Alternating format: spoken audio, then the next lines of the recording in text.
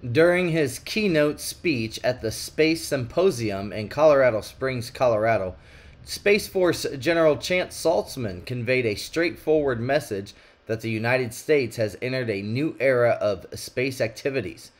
In an interview with CNBC following his speech, Saltzman, the second ever chief of space operations for the U.S. Space Force, emphasized that the United States is facing greater threats to its on orbit capabilities from strategic competitors, with the level of congestion in space rapidly increasing due to a surge in tracked objects, satellite payloads, and launches.